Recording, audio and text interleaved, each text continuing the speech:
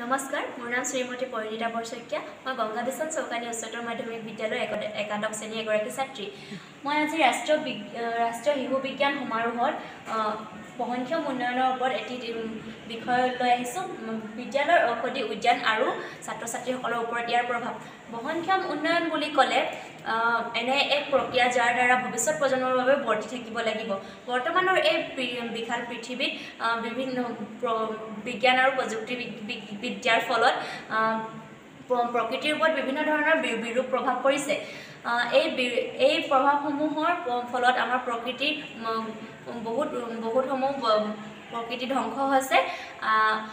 গছ গছনি গছ গছনি কাটি মেলি ধ্বংস কৰি পেলাইছে। ইয়াৰ ফলত আমাৰ গোলকীয় উত্তাপ বৃদ্ধি বায়ু প্ৰদূষণ পানী প্ৰদূষণ আদি বিভিন্ন ধৰণৰ পৰিৱেশৰ সমস্যাসমূহৰ সৃষ্টি হৈছে। এই সমস্যাসমূহৰ এনেদৰে চলি থাকিলে মানে আমাৰ ভৱিষ্যত প্ৰজন্মই আমাৰ প্ৰকৃতিৰ সুফলসমূহ লাভ কৰিব নোৱাৰিব। ইয়াৰ এই আমাৰ ভৱিষ্যত প্ৰজন্মই যাতে প্ৰকৃতিৰ সুফলসমূহ লাভ কৰিব পাৰে তাৰ কাৰণে পৰিৱেশ আৰু উন্নয়ন আয়োগে ঊনৈছশ সাতাশী চনত এটি বহনক্ষম উন্নয়ন নামৰ পৰিকল্পনা এটাৰ সৃষ্টি কৰিছিল। ইয়াৰ ফলত আমাৰ আমি নিজেই আমাৰ এই প্ৰজন্মত যিবিলাক প্ৰকৃতিৰ সুফলসমূহ আছে সেইবিলাক আমি সম্পদসমূহ লাভ আমি লাভান্বিত হৈছোঁ আৰু সেইবিলাক আমি ইউজ কৰি কিনেও যাতে আমি ভৱিষ্যত প্ৰজন্মৰ কাৰণে যাতে সেইখিনি আমি বচাই থ'ব পাৰোঁ আমি শেষ কৰি নিদিওঁ আমি ভৱিষ্যত প্ৰজন্মৰ বাবে যাতে আমি বচাব পাৰোঁ সেই বিষয়ে আমি বহনক্ষম উন্নয়ন শিকিম। আৰু আমাৰ বিদ্যালয়ত এখন এতিয়া আৰম্ভ কৰিছোঁ বিদ্যালয়ৰ ঔষধি উদ্যান আৰু আমাৰ বিদ্যালয় এখন ঔষধি উদ্যান আছে। আমাৰ শিক্ষক শিক্ষয়িত্ৰীসকলে আৰু আমি ছাত্ৰ ছাত্ৰীসকলে মিলি এই বিদ্যালয়ৰ ঔষধি উদ্যান এখন গঢ়ি তুলিছোঁ। ইয়াত বিভিন্ন ধৰণৰ ঔষধি গছ বনবিলাক আছে। এই তৎক্ষণাত যদি আমি কোনোবা ল'ৰা ছোৱালী বা ছাত্ৰ ছাত্ৰীয়ে যদি কোনোবাই পঢ়ি কিনে দুখ পাইছে তেন্তে আমি তৎক্ষণাত চিকিৎসা কৰিব পাৰোঁ।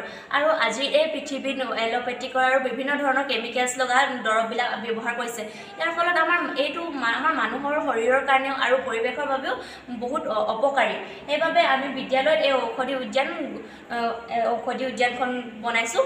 আৰু এই ঔষধি উদ্যানত বিভিন্ন ধৰণৰ ঔষধবিলাক আছে। আৰু আমি দেখিব পাৰিছোঁ যে ছাত্ৰ ছাত্ৰীসকলে ইয়াৰ পৰা বহুতো উপকৃত হৈছে আৰু ভৱিষ্যতেও যদি ছাত্ৰ ছাত্ৰীসকলে বিচাৰে তেন্তে এই বনৌষধি গছসমূহ গছসমূহৰ ওপৰত বিভিন্ন ধৰণৰ উচ্চ শিক্ষা লাভ কৰিব পাৰে। যদি সিহঁতে বিচাৰে নিজৰ শিক্ষাৰ বিষয় বনি বনাই কিনে নিজৰ ডিগ্ৰী চম ডিগ্ৰীবিলাক আৰু ঔষধি উদ্যানৰ ওপৰত বা ঔষধি গছবিলাকৰ ওপৰত সেইবিলাকৰ ওপৰত সিহঁতি নিজৰ উচ্চ শিক্ষা লাভ কৰিব পাৰে।